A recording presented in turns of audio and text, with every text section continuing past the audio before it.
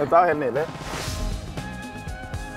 Hei sann, jeg heter Freddy Dos Santos. Jeg er tidligere fotballspiller, bl.a. i Vålinga. Hvert øyeblikk så kommer Darian hit.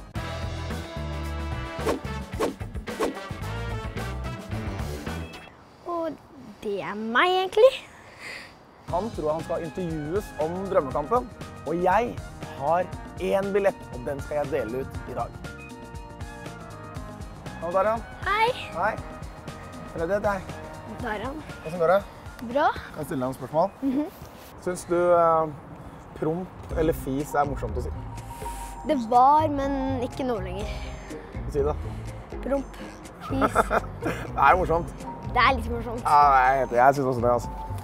Du, Hva veit du egentlig om drømmekampen? Eh, Jeg vet at uh, man skal spille mot to eliteserier i pausen her. Hvis du skulle vært med på sånn kamp, da, hvordan skulle du dabbe hvis du hadde vært med? Eh, Hvis det hadde vært et mål, Ja. eh, da hadde jeg gjort som i Fifa. Ja. Dette er helt nydelig. Vet du hva? Jeg tror du skal gjøre deg klar til både å hoppe og dabbe, for at du er jo med på drømmekampen her. Ikke sant? Ikke det kult?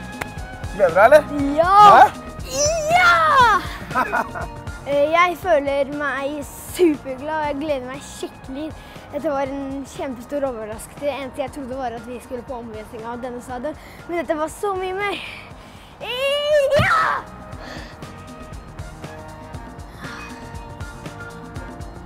Lykke til, da.